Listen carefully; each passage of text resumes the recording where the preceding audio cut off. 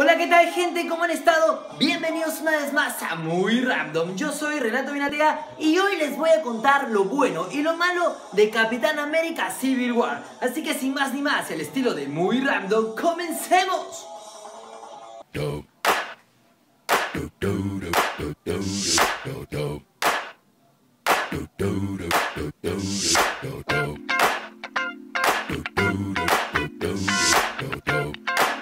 Empecemos por lo bueno, los personajes. Lo que han hecho los hermanos Rousseau ha sido increíble. Me encantaron todos los personajes. Vi a Pantera Negra y fui fan desde el primer momento que lo enfocaron. Su traje está perfecto. Spider-Man ni qué decir, aunque creo que fue usado como un fanservice. ¿Ustedes qué piensan? Sí, fue lo que los fans queríamos ver, aunque creo que no estuvo tan justificada su presencia ahí. Quizá en los cómics sí, pero aquí no creo que hubo una adaptación perfecta, pero todavía no llegamos a los puntos malos.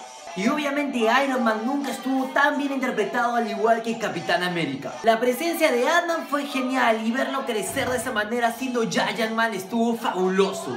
Y Scarlett Johansson ni qué decir. ¿Qué tal Scarlett? ¿Quieren que siga? La fabulosa y espectacular tía May. Espérense, me dio calor.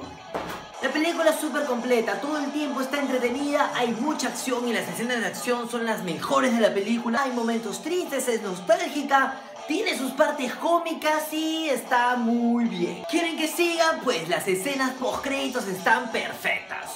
Creo que la primera escena post créditos realmente no era tan necesaria como escena post créditos. La pudieron haber incluido como una escena normal, pero la escena de Spider-Man sí que fue muy buena. Entonces hablamos de una película excelente. Creo que llega a cumplir todos los objetivos. Pero hubieron algunas cosas que a mí en lo particular no me gustaron y como fan no me sentí tan feliz. Como por ejemplo el caso de Barón Zemo. ¿Qué carajos pasó con el Barón Zemo? Ni siquiera tiene la máscara. Otro punto dentro de las críticas constructivas es que Spider-Man fue demasiado bueno. Claro, esto no debería ser un punto malo, pero ojo, estamos hablando del Capitán América Civil War, era un acontecimiento importante en uno de los más importantes del universo de Marvel en los cómics, y Spider-Man para mí termina siendo lo mejor de la película. Creo que debe haber sido el fanservice más potente que ha utilizado Marvel en la historia del universo cinematográfico de Marvel. Claro, nos dieron lo que queríamos ver los fans. Pero, ojo, estamos hablando de Civil War.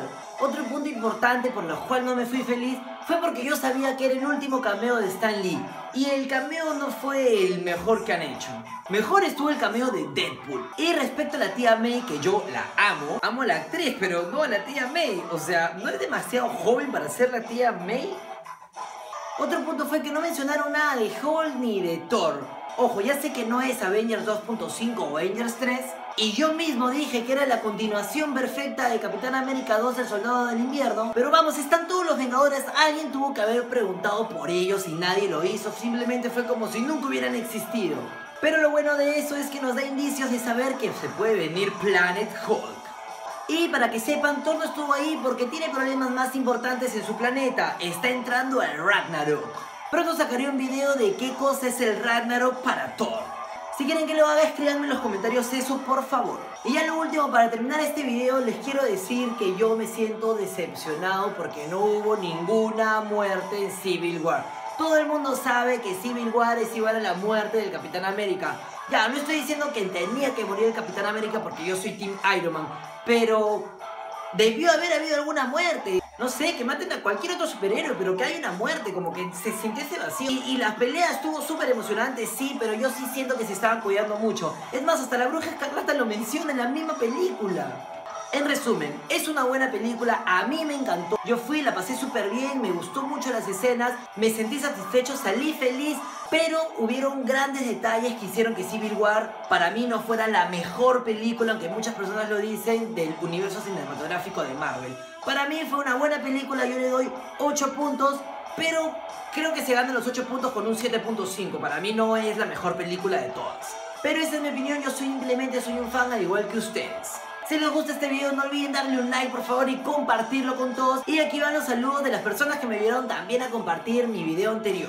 Un saludo para mi hermano Giancarlo Yale, Martín Cacho, el mago Donovan, Eric Navarro, Steven Villanueva, Diego Ramírez, de Nelson Jesús, Javier Núñez, José Carlos Cabrera, Edgar Caso, Vania Lucía, José Saine, Angie CR y Elizabeth Fernández. Si quieren que les mande saludos en mi próximo video, no, no olviden compartir este video desde mi página de Facebook y como público. Bueno gente, espero que les haya gustado este video. Si es así, no olviden darle un like y conmigo será hasta la próxima. ¡Hablamos!